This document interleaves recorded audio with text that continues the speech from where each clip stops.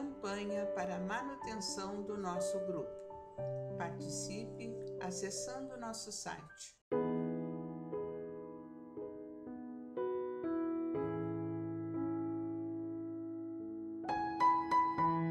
Saudações fraternas, caríssimos irmãos do livro Espírito da Verdade, dos médiuns Chico Xavier e Valdo Dieira por Espíritos Diversos.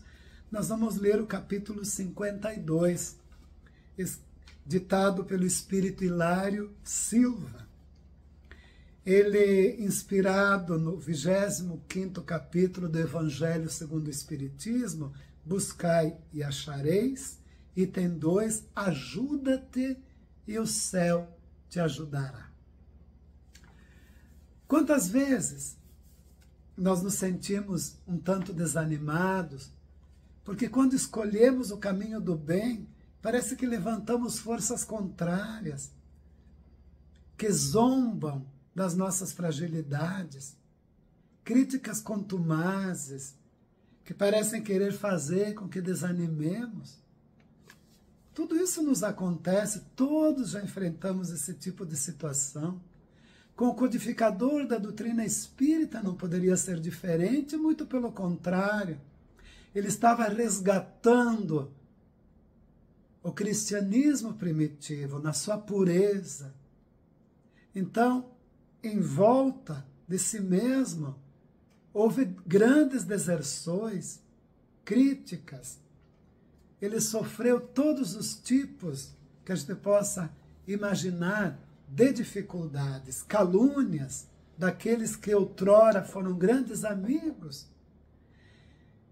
Mas como aprendemos no Evangelho de Jesus, que quando estamos com Ele, que o fardo com Jesus é mais leve, se estamos, não é, nos ajudando dando forças, encontrando forças de sustentação no bem que fazemos, o céu certamente nos ajudará. Sempre vem um socorro providencial no momento crucial na nossa vida. E o Espírito Hilário Silva, nesse texto fabuloso, emocionante, resgata para nós a história, parte da história, momento crucial na vida de Allan Kardec. Vamos prestar bastante atenção. O título é Há um século. Allan Kardec, o codificador da doutrina espírita, naquela triste manhã de abril de 1860, estava exausto, acabrunhado fazia frio. Muito embora a consolidação da Sociedade Espírita de Paris e a promissora venda de livros escasseava o dinheiro para a obra gigantesca que os espíritos superiores lhe haviam colocado nas mãos. A pressão aumentava.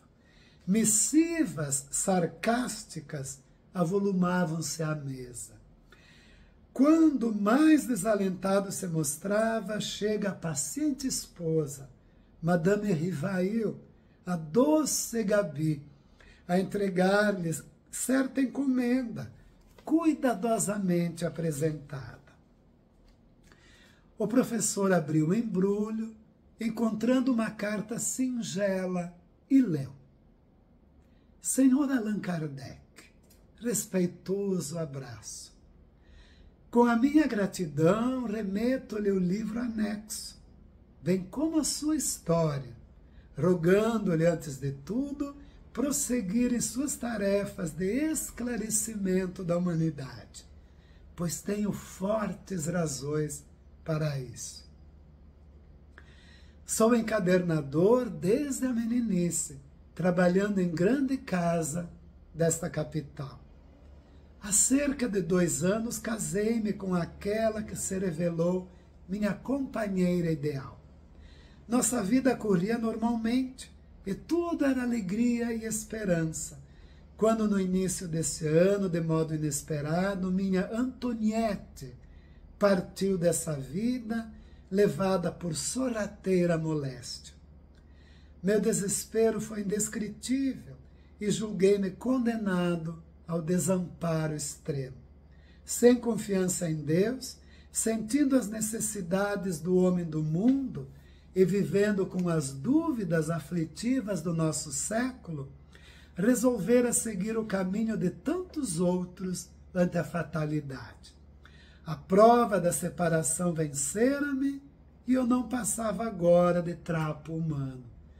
Faltava ao trabalho e meu chefe, reto e ríspido, ameaçava-me com a dispensa.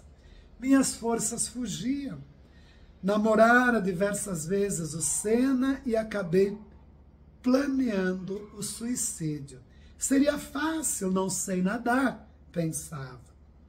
Sucediam-se noites de insônia e dias de angústia. Em madrugada fria, quando as preocupações e o desânimo me dominaram, mais fortemente busquei a Ponte Marie.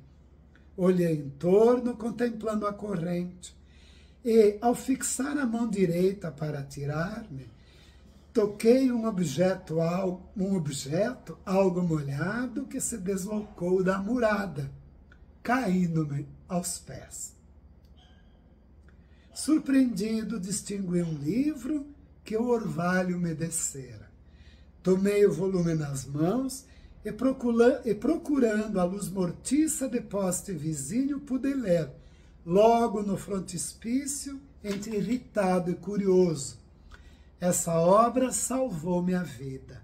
Leia-a com atenção e tenha bom proveito a Laurente. Estupefato li a obra O Livro dos Espíritos, ao qual acrescentei breve mensagem, volume esse que passo às suas mãos abnegadas, autorizando o distinto amigo a fazer dele o que lhe aprouver. Ainda constava na mensagem agradecimentos finais, assinatura, a data e o endereço do remetente. O codificador desempacotou então um exemplar do Livro dos Espíritos, ricamente encadernado, em, cuja, em cuja capa viu as iniciais do seu pseudônimo, e na página do frontispício, levemente manchada, leu com emoção não somente a observação a que o missivista se referira, mas também outra em letra firme. Salvou-me também. Deus abençoe as almas que cooperaram em sua publicação. Assina Joseph Perrier. Após a leitura da carta providencial, o professor Rivailo experimentou nova luz a banhá-lo por dentro. Conchegando o livro ao peito, raciocinava não mais em termos de desânimo ou sofrimento, mas sim na pauta de radiosa esperança. Era preciso continuar, desculpar as injúrias, abraçar o sacrifício e desconhecer as pedradas. Diante de seu espírito turbilhonava o mundo necessitado de renovação e consolo. Allan Kardec levantou-se da velha poltrona, abriu a janela à sua frente, contemplando a via pública, onde passavam operários e mulheres do povo, crianças e velhinhos. O notável obreiro da grande revelação respirou a longos haustos e, antes de retomar a caneta para o serviço costumeiro, levou os, os, o lenço aos olhos e limpou uma lágrima. Deus nos abençoe, Deus nos ampare. Não desanimemos nunca na obra de elevação, na grande obra de elevação, a que cada um somos chamados a realizar em nós mesmos. Deus nos abençoe hoje e sempre. Assim seja. Campanha para a manutenção do nosso grupo. Participe acessando nosso site